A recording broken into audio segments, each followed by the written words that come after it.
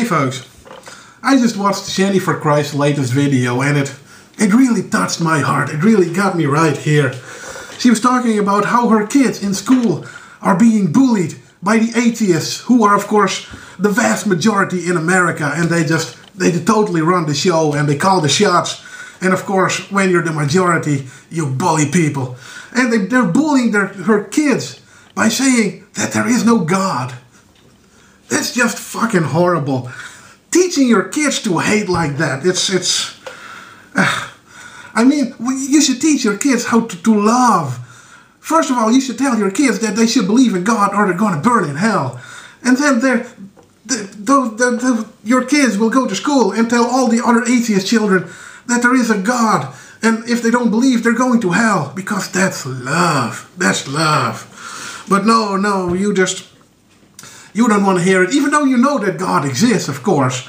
And which is which is funny, you believe that there is no God, for which there is so much evidence.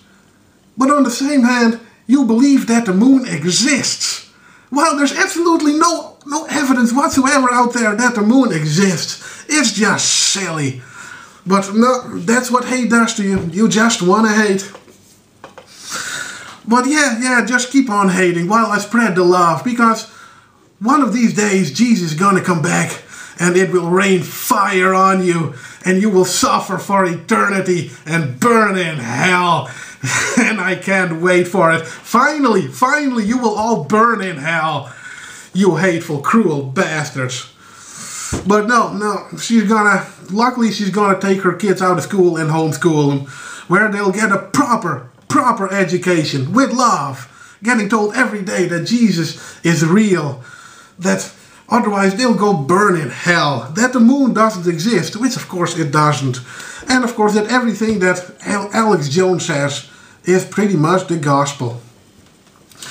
So, anyways, what else can I add?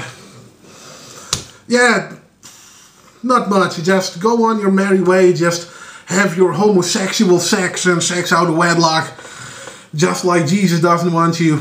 But uh, yeah, you'll get AIDS anyway, so uh, the joke's on you, you cruel, loveless bastards.